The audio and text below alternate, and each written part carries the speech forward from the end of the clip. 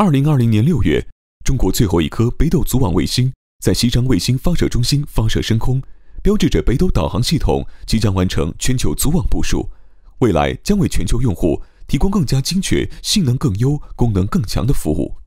作为北斗导航任务的单机产品研制单位，中国航天科技集团五院五幺零所二十年里为其提供了如中物理部分、星载二次电源、柱箱气瓶，以及给卫星穿上高科技太空衣四大神器。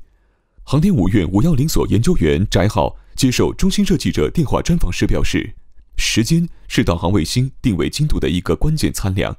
如果如原子钟能够提供的时间精度越高，那么导航卫星的定位精度也就越高。”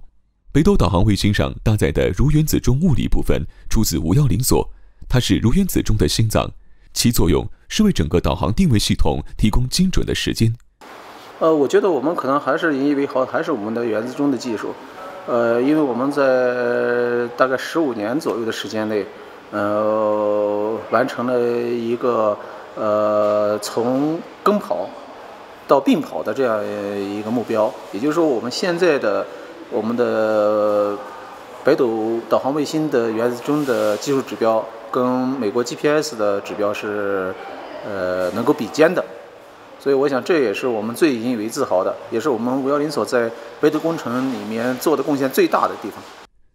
从两千零四年到如今，航天五院五幺零所见证了北斗导航卫星如原子钟物理部分的出生与成长，创造了属于中国的精度。通过一系列优化，目前。如中物理部分配合整机的天稳定度指标均进入了一幺五量级，确保了产品的一致性，在保证产品质量的同时提高产能。在整个北斗导航任务中，作为国内宇航二次电源的主要承制单位，航天五院五幺零所共安装了九百余块电源产品。他们将新上一次太阳能或电池的电能进行转换，并通过新上线缆网输送到各种电子设备，形成其所需电压电流的功率变化模块。是卫星能源系统中重要的组成部分，为二十台新上设备持续提供能源保障。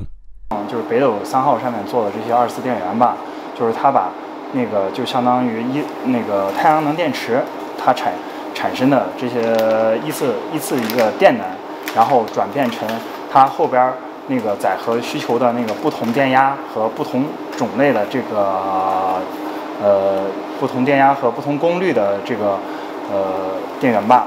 然后它能够正常的一个工作，它的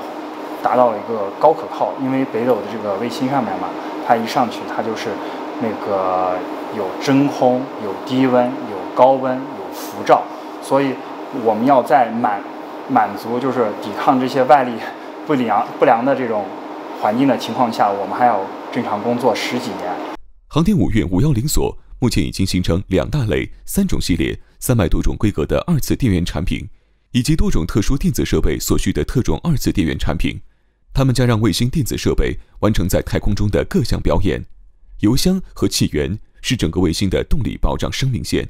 多年来，航天五院五幺零所持续为北斗任务动力系统配套了三十余台巨型燃料柱箱和十余台太空高压气瓶，主要用于贮存推进剂和增压气体的这两类关键单机产品。